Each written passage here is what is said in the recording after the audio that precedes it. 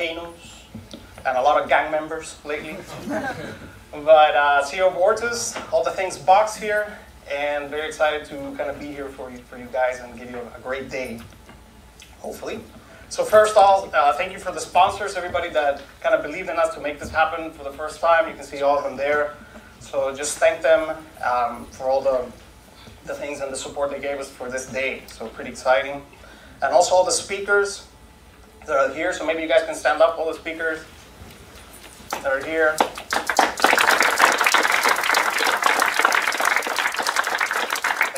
Coming from India and Switzerland, so from all over the world. So thank you guys for, for making this happen. And of course, the organizers as well. So where's the doc? There's the doc. So Tim, thanks for pulling us together and giving us all your expertise. So thank you for everybody for, for making this happen. But I think it was important to know why we did this. So we really wanted to, to do a Cold Fusion conference because we really, really love Cold Fusion and we know how great it is and we really wanted to present to you a lot of topics that are important to us.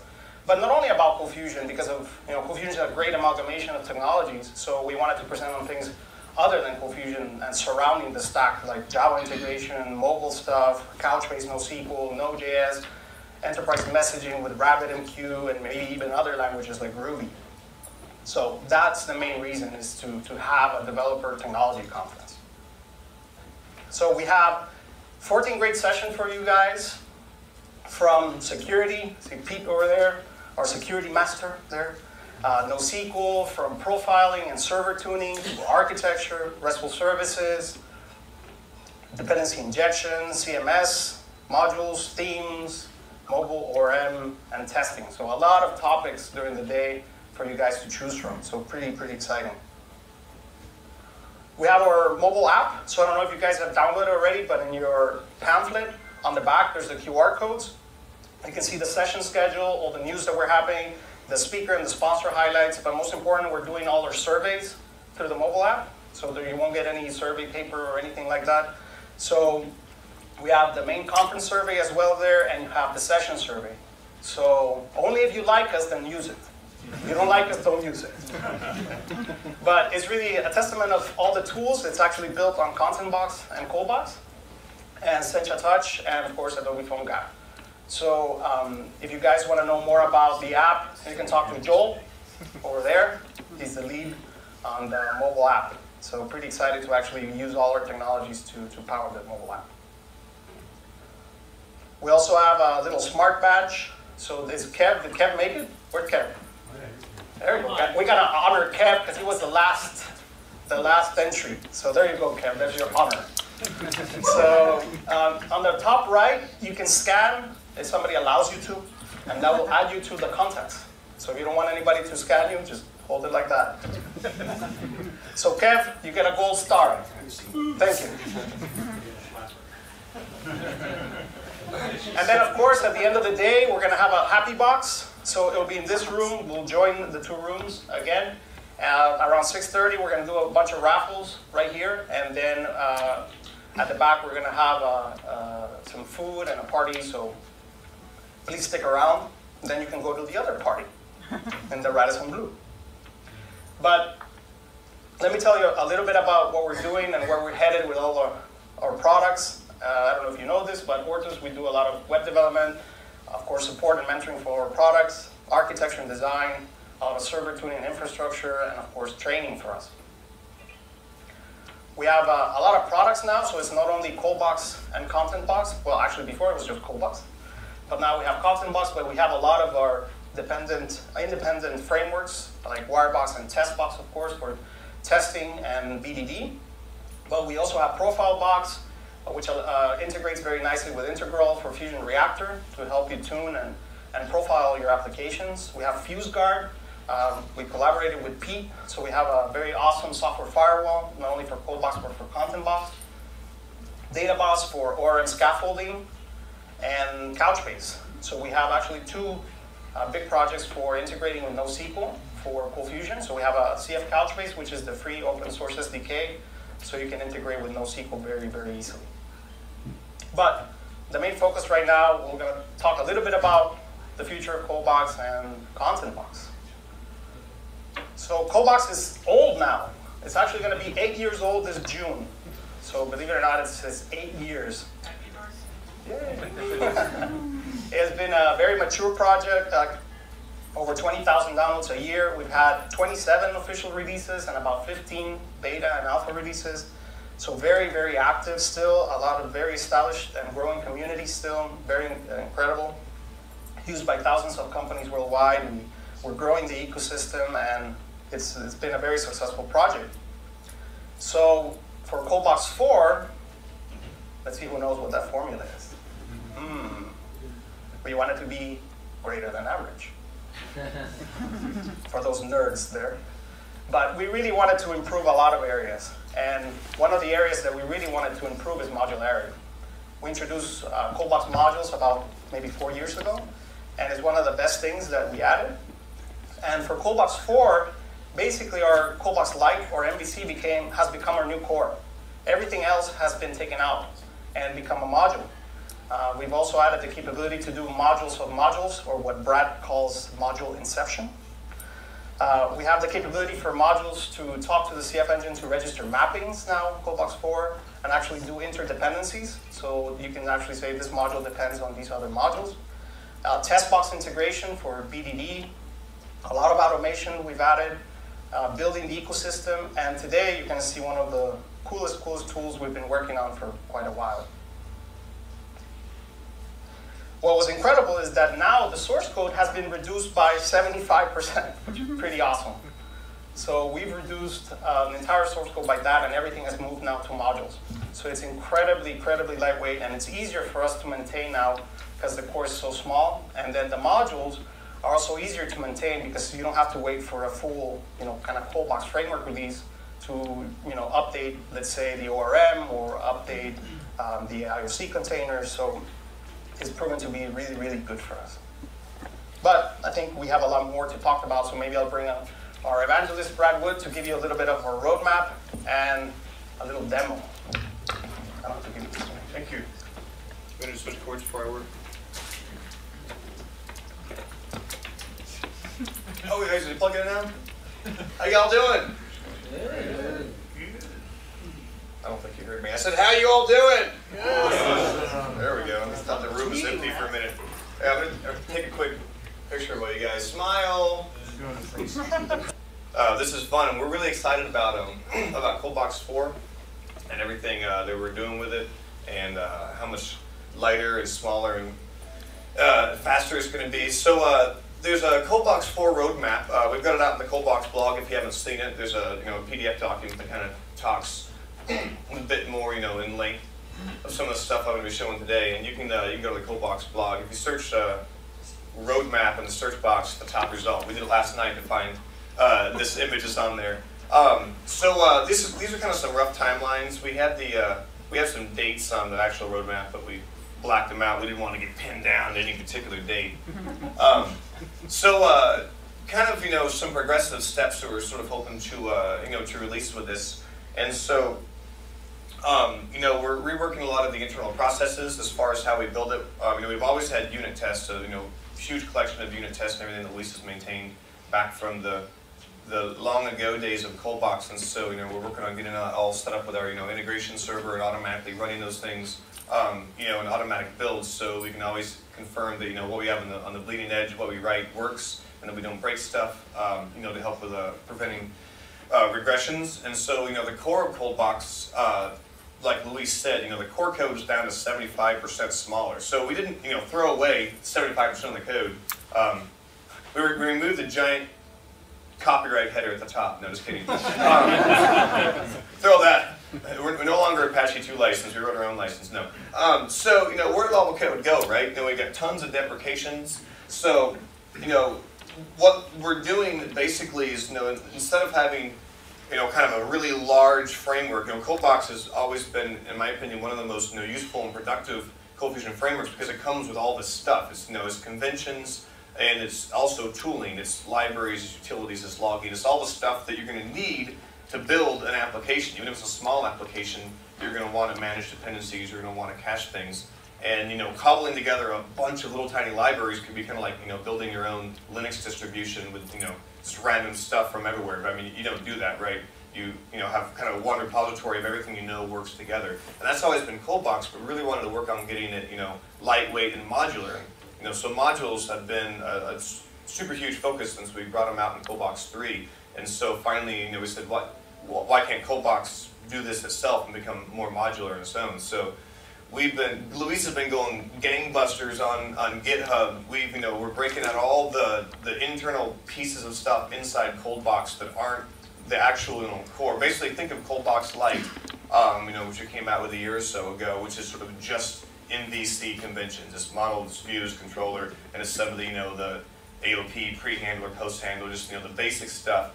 That's basically going to be what the core of ColdBox is, and all the things around it that it does, like, uh, you know, the debugging module, and logging, and, you know, the ORM services, internationalization, all the, you know, stuff, all the plugins, AntiSamy's, think of the ColdBox system plugins directory in your head. All that stuff isn't really part of the core MVC, it's just tooling that goes along with ColdBox. So all that stuff is getting pushed into separate modules that'll be on GitHub as their own separate repositories, and you'll have the ability, if you want to have a super lightweight version of ColdBox and you don't use AntiSamy and you don't want the stupid three megabyte jar that's in there in your application, you can just remove the module. It's all in one folder. And if you're not familiar with ColdBox modules, we have a session um, on that today. But I mean, basically, think of it as a almost like a jar in Java. You've got, you know, a single, uh, you know, single package, a folder of code, all you know, zipped up. That's kind of self standalone, and it can contribute anything it wants to the ColdBox application. So it's perfect for breaking apart the pieces of the application we want to work with.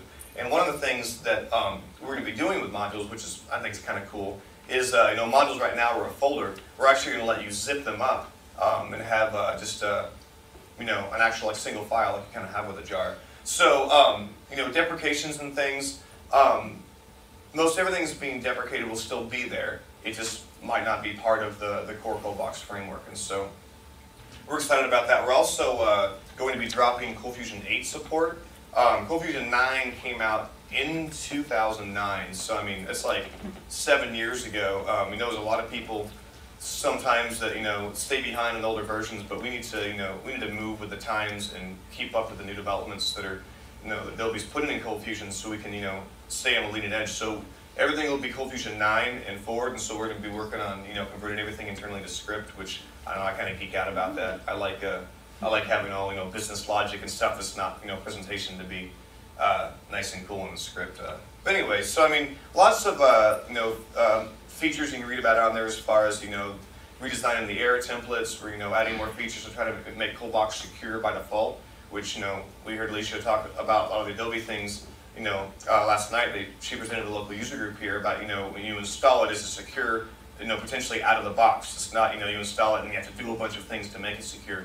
So, you know, some of the things we've kind of added in recently is, you know, if you, uh, if you don't specify, if you're good to put a re-init password in your, you know, config file, then you know we'll let you re-init you actually specify one. We, we want you to specifically say, yeah, anyone can re-init this, not just assume, well, you didn't put the setting in, so we're letting anybody re-init it. You know, so we're adding in settings like that, trying to make things secure. Um, we're going to have a default, you know, error template that's for public consumption. It's not the please hack my server error template that you probably ran across if you hit a ColdBox site and they don't, you know, trap their errors good. So, you know, things that are secure, we have, you know, more asynchronous features we want to add. Um, layout inheritance is some stuff from a uh, kind of Django, isn't it, that we borrowed some of that stuff from, uh, that we think looks really cool. Uh, modules enhancements, um, Luis mentioned the mappings, those are really cool, and that's one of the things we ran into trying to modularize parts of, um, of ColdBox. If you know, uh, let's say if you look at one of our you know box frameworks like Logbox, we have CFCs that extend another CFC. So you know, extends equals logbox.system. something like that, right? You can't just do that with a folder of code that can be anywhere relative to the web root in ColdFusion unless you create a mapping for it. And so one of the things in ColdBox 4, like Luis had mentioned earlier, will be the ability for a module to automatically register a ColdFusion mapping, like the app-specific mappings you put in your application.cfc, but it'll all be dynamic on the fly at runtime. So in your module config, this .cf mapping equals and if your module is called foobar, you can have it create a, a, CF mapping called foobar. And then internally, you can have, you know, that'll be the root of your modules. You can have CFC, the reference foobar dot something, and the reference in themselves. And so that was a, a really big key in being able to, you know, completely modularize anything into a folder and to be able to be self-referencing. So um, we're really looking forward to a lot of people kind of embracing modules and, uh, and, and packaging, and I'll talk about that a little bit more in a minute. Um, let's see here. ForgeBox. Um, we're going to be doing a rewrite of ForgeBox this year. It's been out there for a while. Um, if you go to coldbox.org and click on ForgeBox, and it's sort of our uh, our ColdBox, um, you know, code repository depot. You can anybody can sign up for free, and you can you know submit uh, projects and things. And right now, it's always kind of been sort of a, a ColdBox ecosystem thing. You know, you can put modules, you can put interceptors, plugins, uh, layouts, and widgets and things for Content Box all are, are all on there. And we wanted to kind of expand the focus of the fourth ForgeBox. We're going to do a kind of a 2.0 version and rewrite it. And we wanted to become more of a, a general purpose um, uh, for just the CFML community in general, I guess. We want anybody to put, you know, libraries and things that might even not be specific to the cold box to sort of broaden the scope. And we wanted to also um, kind of uh, bring it up to be more of a package manager, right? So, um, let's see here. Well, I, I talked about that a second ago, um, the module.box. So, you know, our kind of, you know, solution for, for you know, packaged code are, are modules because we're like, you know, a plugin or something, you have a single file. But, you know, a module is an entire directory and you can have entire pieces of an application in there. So, you know, interceptors that automatically register themselves, you know, model objects that will be automatically mapped for you that you can use. And so, um, you know, one of the things we'll be letting you do is basically zip up the module folder itself and give it a, a .box extension, which I mean, it's kind of like, you know, a little expandable distributable modules, like I said, sort of like a jar file, you know, in Java, but it'll be kind of the equivalent for Cold Fusion. And so with, uh, with kind of, you know, the focus on modules as, you know, the modular way to package a chunk of code that anybody can drop in, um, our enhancements to ForgeBox to kind of, you know, promote it up to a full package manager we're going to start introducing some stuff. We've looked a lot at NPM, which is the Node Package Manager, um, and how they've done things because they, they're you know, wildly successful. And so um, we're going to start having a, a box.json um, uh, pattern or convention where you know you'll have this box.json file that you can put in the root of your of your packages that you put in ForgeBox, and sort of some metadata that describes you know what this package is. And so you can have you know versions of it, you know, direct the installation directory needs to be installed on um, you know, other dependencies. We want to start having packages that are dependent. So, you know, in Linux, if you go and you install, you know, SSH or something, it's like, oh, you need this, you know, RPM, you need this RPM. It goes and it gets them and installs them as well, right? That's the direction we want to move. So you can, you know, say, I want to install this module into my content box site. Okay, well, it's dependent on this module and this plugin, and it goes and it gets them because, you know, they have self-describing uh, JSON built into them to kind of uh, map the dependencies. And of course, you know, other information like, you know, tied in test box, you can have information on, you know, where the tests are, and maybe it's an entire application or some module with unit test. And so this is all going to be coming as part of, uh, as part of ForgeBox in the next version to, uh, you know, not just have, you know, a repository with some code that you put out there, but it actually is more of a package that has definition and has meaning um, that we can build around. So, um, along and built into what we're doing with ForgeBox is our brand new project that we have codenamed Gideon. So Gideon is command box, and the new the new uh, slogan is "Go Commando." do, do, not raise your hand going commando today. So, command box is going to be uh, kind of a combination CLI, uh, command line interface, a package manager. Also going to have some REPL stuff. Did you say REPL or do you spell it out R-E-P-L? I, know, I never know. Uh, actually stands for read eval print loop. You see similar stuff in languages like Ruby. Um, you know, in JavaScript, you can go in a command line. You can you know write code and you know have it interpreted right there. Um, so this is what Command Box is. So Command Box is a project we've been working on for a little while. Um, it's going to uh, run on Mac, Linux, Windows. It's um, you know going to be generic, and essentially it's a command line interface for CFML applications.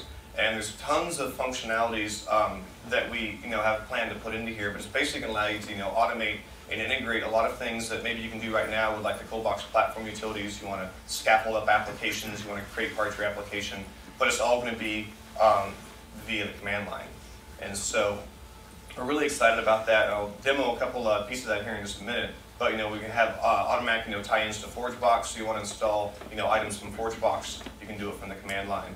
Um, you know, Logbox integration, Wirebox integration. Um, you know, all sorts of uh, you know commands that we're creating to be able to uh, to do this. So let's see if I can use a Macintosh here. I'm a crazy Windows guy, and these Mac shortcuts drive me nuts. So, uh, so this is a, an example of a, a command box 1.0 alpha running on uh, Luis's Mac here. Um, as usual, we have some ASCII art. Nothing is a, a, a Luis product without some ASCII art in the README. So, um, you know, so basic, uh, basic, uh, you know, command line. Got a version command. Uh, I also had to throw some more ASCII art. Uh, nice. How do I scroll in here? There we go. Now here's the info command. Uh, I have a bigger monitor at home. You actually get the whole thing in there. But uh, I had to I had to put you know the ASCII art in there. So we've got a lot of integrated help um, that we're working on. You know, there's going to be uh, uh, as part of the uh, the CLI. So you know, if you just type help, you can get a list of all the commands and all the namespaces. And so we've kind of nested all the commands in the namespaces. Most of these, um, or many of these aren't implemented, but we're, we're working right now on, on implementing a lot of them. And so if you want help on the you know the Coldbox namespace, yeah, you know, you can type help coldbox, and now you've got some specific help that talks to you about what you can do with this coldbox namespace, and there's further commands inside of there, and then nested uh, namespaces. So there's a coldbox create namespace. Uh, also got tab complete. If I start typing uh, col tab, puts in coldbox, cre tab, adds in create. So we've got automatic introspection of the commands um, to uh, be able to, you know, type as quickly as possible in a way that you're familiar with with Linux. So uh, look at, for instance, Coldbox create app. So this will create a blank Coldbox app from one of our application skeletons, and you've got options um, on how you can type that in. So uh, I look at Coldbox create app, I hit tab here, it actually shows me all the um, the parameters you can pass in. And uh, you know, we've tried to make it fairly, you know, generic and usable, so you can do kind of similar to Cold Fusion functions. You can do name parameters, so create app, you know, foobar, right? You can do name equals. You can also just do you know uh, positions, or you're doing you know name equals value, um, or you can do them all positional. If you have spaces, if foobar test is the name of the app, then you know you can put things in quotes. Um, it's pretty cool. And of course, if you have a you know a quote inside of it, you can escape them. So uh, done a lot of uh, work on kind of you know how you can uh, how you can create commands and do things. So essentially, the the CLI has a uh, a working directory. All right. So let's see here. That's my current working directory. Aha. So, um, kind of, I can hear myself. Sounds crazy. Uh, you know, kind of like we used to with the regular, you know, command line. Um, there's essentially, you know, a, a, directory that you're working in, and so that's kind of how a lot of the commands are based. So if we want to, you know, scaffold out a new site, you can see, you know, PWD stands for, you know, print working directory. Um, you know, we support a lot of aliases, ls, dir, you know, the same command. Of course, right now the directory is empty. So if I want to uh, create a new Coldbox application, I can do, uh, oops, it's not create. Should read the help, tell me how to do this. Coldbox create app, right? And so if you don't pass all the required parameters, it's going to ask me um, for all the required ones at the command line. So what's the name for my app? I'm going to call it uh, my app. I'm going to spell it wrong two or three times. Just make sure you're paying attention. All right, so we created our app here in the ITB directory. So if we go ahead and uh, do a directory listing, we can see it's created the, the application skeleton for us. And um, let's see uh, what Windows has I own here in Chrome. So if we actually go and uh, and look at this, we can see here's the here's the sample app that we just uh, we just created based on the the advanced script template, right? And so one command, you know, the way we're going to set this up is that you can you know make batch files that you know call the the command box CLI, so you can you know script as many things as you want without having to type it in. You can actually you know save a, a shell file or a batch file to do this kind of things for you. And um, you know I'm just kind of using the default, so that's the advanced script application I believe is what it used. So if I want to um, uh, Coldbox create handler, and let's do uh, let's do a handler called hello. All right, now you see, um, in addition to uh, creating hello handler, it also created integration test for me, right? Um, I can do it again. I can do a handler named hello, and I want an action called index, and an action, oops, comma limited list, and an action called Luis. And so now, by default, it automatically created also the views for me. So uh, an index view and a Luis view. And of course, uh, we got you know the integrated help for everything. If we look at the help for this command, you can see um, name, actions, uh, view, create the views, yes or no, views directory, create the integration test, yes or no, the app mapping for the integration test, where do you want the test to go, and then where do you want the handler to go. So by default, it's going to base everything off our conventions. It put the handlers in the handlers directory, put the views in the views directory, put the integration test under test specs integration. You can override this all you know, based on what the conventions for your application might be. But the key is I just run the command in, in the web root, and it figures out, you know, what I want to do. And so if we uh, switch back over to our application,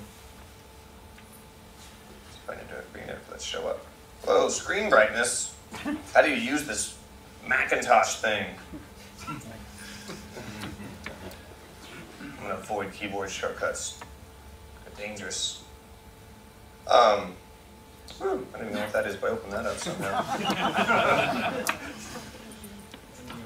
Crazy stuff. What did I see? What did I uh, I call my last one? Hello test. Yeah.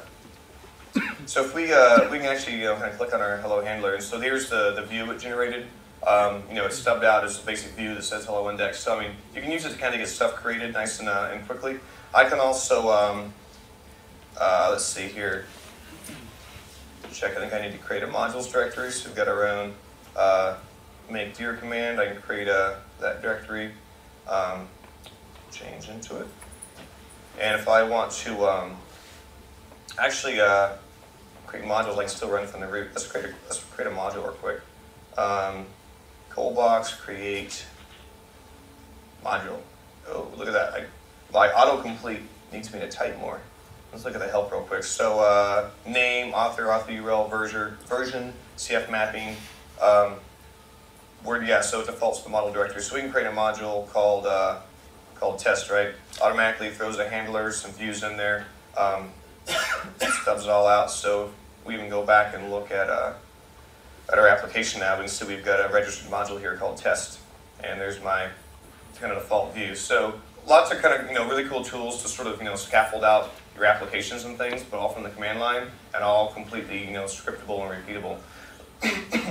um, one of the things we hope to have done for the demo, but we didn't quite have it working, is um, just uh, see, look at our base uh, help again. Um, we don't want to have a start and stop server, so we're actually going to have you know an embedded uh, the ability to kind of embed a server in here and start it up directly from the command line. So change into a directory like a web root and just type start or start server, and it would just spin up a server right there using that web root.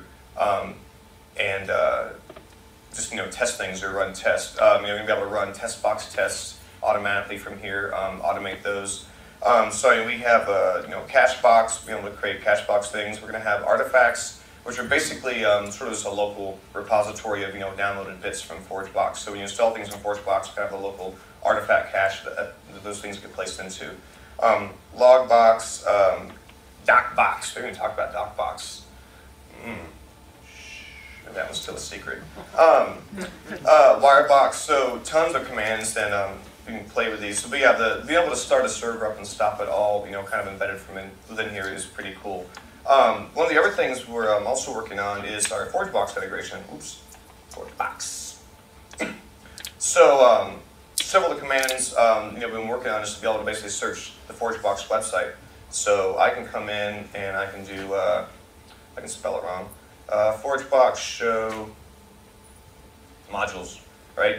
And so um, We'll see if the internet's working. There we go. Get enough Wi-Fi here to connect to the REST API. So uh, I can come in here and look at the modules. That's a lot, so check it out. Boom, pipe more.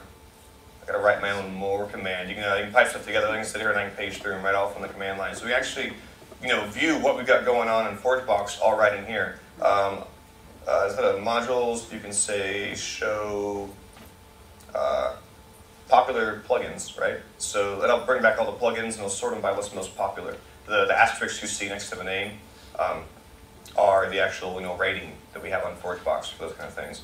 So if we want to install a module, I can uh, change over to my modules directory and we can do ForgeBox install, what was it, uh, the slug. Actually, well, let, us search for it. I, wa I want to install the relax module, right? So I'll do ForgeBox search. By the way, we do support grep, by the way, if you'd like to pipe stuff into grep. Um, search relax. Go out to REST API, there we go, there's the ColdBox relax module. Um, searches the, the author name, the keywords, the summary. And so the slug is coldbox-relax. So do ForgeBox install, coldbox-relax. Spelled wrong two or three times. Um, might take a couple seconds, it's going to go out, it's going to download the zip file based on the download URL. this is going to extract it locally, and then it's going to install it into our directory. And this is also where the box.json is going to come into play here. So if the ColdBox Relax package on ForgeBox has its own box.json that says install me in the ABC123 directory, it's going to default to there if that's where it needs to be installed. Though of course you can you know always override the installation location. And then it can also describe the other dependencies that ColdBox Relax needs as well. So we just installed ColdBox Relax. Whoa, I hit tab. There's all your commands.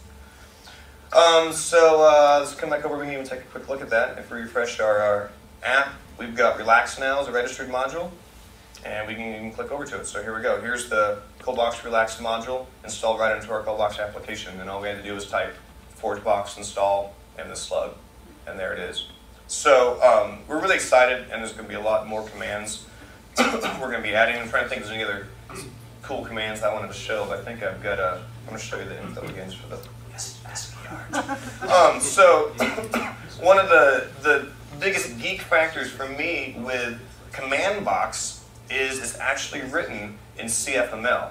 So all these commands are actually written in CFML code, and it's going to be extensible by you guys in the future. So if you have your own, you know, things that you want to automate at your job based on your needs, you can create your own namespace called, you know, Brad, and I can have, you know, a Brad pat on the back command, and then anytime I type it, it does whatever I want it to do. It pats me on the back, right? That'd be really kind of a conceited thing to do, wouldn't it? I'll call it the Pete tag pat on the back command. He deserves it more than me. Um, but it's all it's all written in CFML, so it's all going to be extensible uh, via CFML, which I think is really cool and really exciting. And uh, you know, we talked for a while about what technologies to use, and I know that ColdFusion doesn't have to be the hammer you pound every screw with. Um, but it actually it, it's worked really well and it's been really easy and fun to write. And we're excited for people to be able to you know come and extend this you know and make their own commands and add their own things to it. So pass it back. That is CommandBox. You guys like it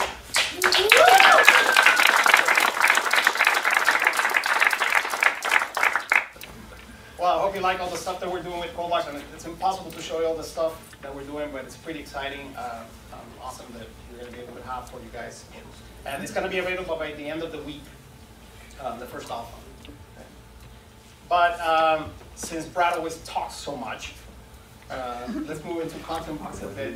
And ContentBox is kind of the new baby for us. Um, it'll be two years in August. It's really maturing right now. For those of you who don't know what ContentBox is, it's a, a modular content platform for ColdFusion. It's based, of course, on ColdBox, but it's also modular. It's all a collection of modules that give you content capabilities uh, for your applications. Uh, we had already 14 releases, believe it or not, and it has a lot of activity, so much activity that I haven't even written any docs for it, believe it or not. but for ContentBox 2, uh, obviously we're going to upgrade to ColdBox 4. We have multilingual support already available on it uh, for the majority of the modules, but the majority is coming. Multi-site, we're doing a lot with REST, so it will include RESTful APIs already uh, documentation, of course, slacking there. Uh, increasing the ecosystem through ForgeBox. We have a ContentBox namespace for CommandBox. So with CommandBox, you're going to be able to actually deploy ContentBox applications, package ContentBox applications, do all kinds of things with ContentBox. Uh, really, really cool. And we have some mobile apps coming for ContentBox as well. But I think I'll just give you to Joel now to talk a little bit about ContentBox. He's the evangelist for ContentBox. Well, thanks everyone for coming out. This is a really exciting opportunity. Um, I've been doing ColdFusion for a while, six or seven years, but pretty new to ColdBox and ContentBox teams. Uh, actually started learning it at my current job, and my second week of, of on-the-job training was a, a, training session with Luis on ColdBox. So just blown away by all the things that it could do and fell in love with it, started contributing, and now I find myself as the, the ContentBox evangelist. So very excited about that. We have lots of awesome stuff coming, and I'm excited to talk to you a little bit about that today.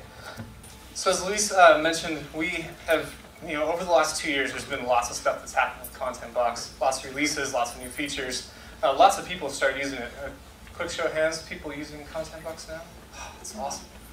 We want to convert the rest of you too. So.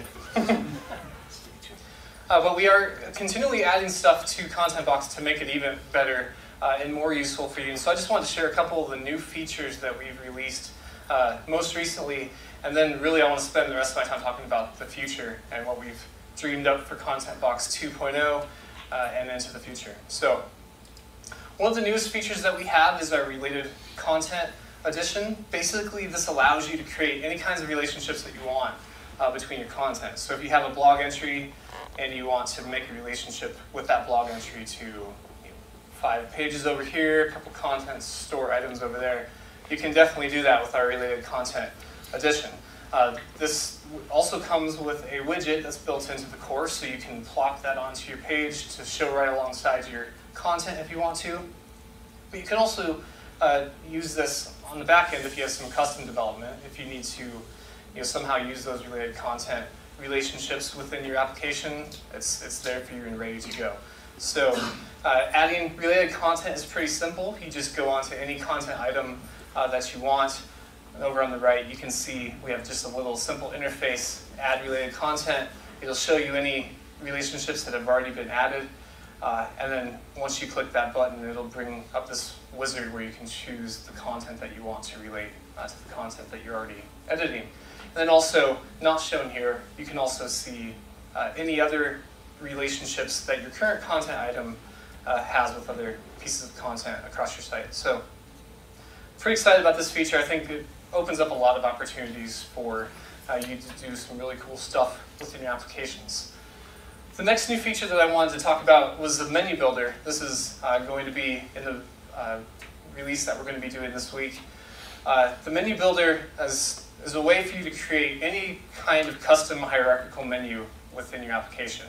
Uh, we do already have, you know, of course, the regular menu uh, options where you can you know, pull in content and display menus within your site. The menu builder is really a way for you to create those a la carte menus uh, that you might want to add to your site. So let's say you have a top menu bar that you want to add to one of your layouts. You can come in here, create your custom uh, custom menu, add any kinds of things to that that you want, pages, media items, uh, URLs, submenus if you want to, lots of different built-in menu types uh, so that you can create any kind of custom menu that you want. We also have a core widget that allows you to easily insert this into you know, either page content, kind of instance by instance, but also um, there's an addition to the CB helper, so if you need to add this to a layout or use it somewhere else within your code, it's very simple to do. Uh, one of the things about the menu types that we're really excited about is that we come in the core with these six kind of built in. So you can link to, you can create menu items from any of these types, but we also have a way for you to create your own. So if you if you decide that these six don't quite cut it for you, uh, there's a very very easy way for you to add those uh, those custom ones however you see fit. Just give you a sneak peek of the interface here. So we have a, a new menu designer options. So you can come in here, create your uh, your menu again however you want. So you can create the hierarchical relationships that you want with a really simple drag and drop interface. And then I don't show it here, but if you click on these little edit buttons on any of these menu items, it'll expand it, and you can just go to town customizing it with custom CSS classes, uh, data attributes, and any other specific things that are required for the particular menu type. So, for example, if you have a page menu item, you'll have to choose the content item that it relates to. If you have a media item, you'll have to pick you know, the, the media item from the library and on down the line. So we're really excited about this. I think it opens up a lot of, uh, a lot of doors for really taking website design and layout to the next level because you can really create any kind of menu that you want. Uh, the only limitation is really your imagination. So look for that coming extremely soon.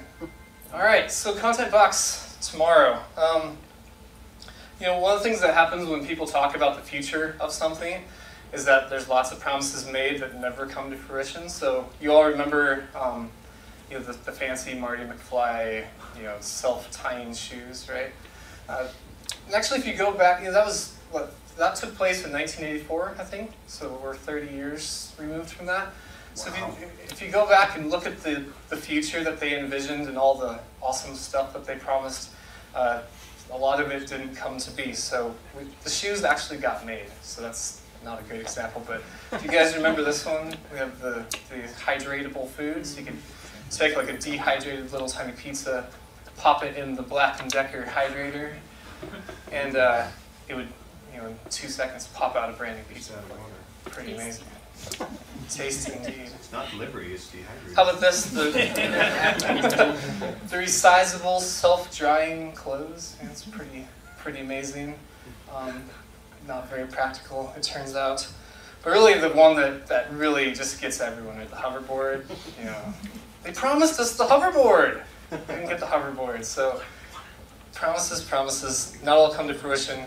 With ContentBox, we don't want to do that. We we have lots of features that we're really excited about coming in the future, and we're going to deliver them. It's, uh, we're not just dreaming about things and then putting them to the side. We really want to bring these things to fruition, not just so that we can make ContentBox better, but really ultimately so that we can you know, give everyone who uses ContentBox just really awesome tools to help them do their jobs better, help them you know, please their customers that much more, you know, just really make the community that uses uh, ContentBox a community that's equipped with the best tools possible. So the, the future that we have for ContentBox kind of can be broken down into four main sections. Uh, you can see them here. I'm going to go through them just really quick. I don't want to belabor the points, but uh, one of the things that we're really focusing on for the future ContentBox is bringing you know, enterprise level tools.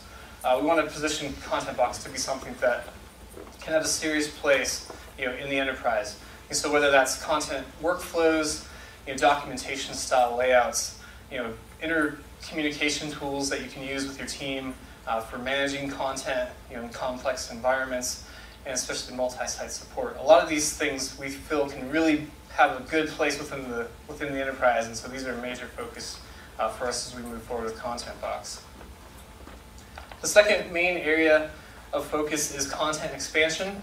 Uh, we want to, you know, ContentBox is about managing content, so we want to give you the most robust tools that we possibly can uh, to manage your content in the most efficient and you know, feature-rich way that we can. So, you know, from con custom content types, different delivery and publishing mechanisms, uh, this idea of a planner view where you can really see from a high level all of your content within ContentBox. These are ideas that are that are, we're actively working on and going to be bringing in future versions of uh, ContentBox.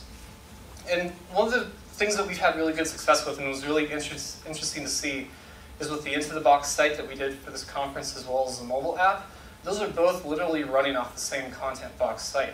Uh, the content that we, we used in it was diverse. We used pages, we used content stores, we used custom services.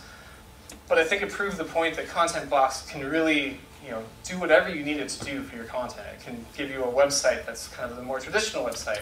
It can drive your mobile content uh, and it can do pretty much whatever you want. So that being said, we want to continue to develop the tools that will make your content management that much better uh, and richer. Reporting and statistics, we know that uh, you know, effectively managing content comes down ultimately uh, to be able to see and get insights into how your content is being used. I mean, you can throw tons and tons of content out there onto the web, or through a mobile app or however you're delivering it.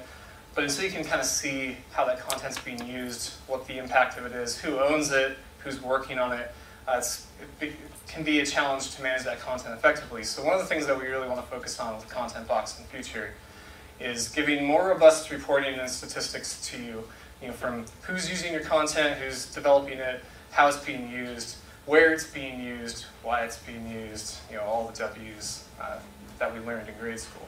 So again, give you the big picture of how your content is being used. So ultimately, you can make better decisions about your content. Whoops. There we go. Whoop. All right. The last one is documentation and testing. Um, we want to you know, as Luis mentioned, we haven't yet gotten around to the documentation because it's been growing so rapidly and so many features have been pushed out that we just haven't been able to do it. But documentation is a huge priority. We know it, uh, and we're committed to, to delivering that with ContentBox 2 and into the future. So we want to give you documentation not only for developers, but also getting started guides for content managers, so that anyone who's using ContentBox can dive into it, get started really quickly, and become effective in how they develop their applications uh, utilizing the documentation. And of course, testing. Uh, we want to develop and expand the testing suite that ContentBox lives on top of, so that we can you know, automate the heck out of it and just make it that much more that much that much more better. There we go, English. Um, so again, we're really excited about ContentBox in the future. There's lots of awesome stuff coming. Uh, if you haven't yet uh, gotten into ContentBox, I would just encourage you go to go to uh, go to the website, download ContentBox. It takes just a couple seconds to get started up, and just play around with it. And we think you'll really like it. And uh, if you have any questions, join the Google group. We're always there answering questions, so we're we're happy to help you out. And again, we want to thank everyone who's already using ContentBox. Uh, all the participation we have in the forums, all the questions that we get, all the great uh, contributions that we get. Thank you very much. And uh, we look forward to giving you even cooler stuff in the future. Just have one more slide for you, and then we can start off the day. But something was really important for me is that sometimes life is really more important than software. And to thank you guys, there's an orphanage that I we help, and 15% uh, 15% of everything that we make here actually went there um, to help displaced kids in, in El Salvador. So if you're interested, you can look at there, especially for know, parents here that have adopted, like uh, Kurt and stuff. Um, these things are really dear to our heart, and the, it's a really thank you to for us to, to be able to help them a little bit. So.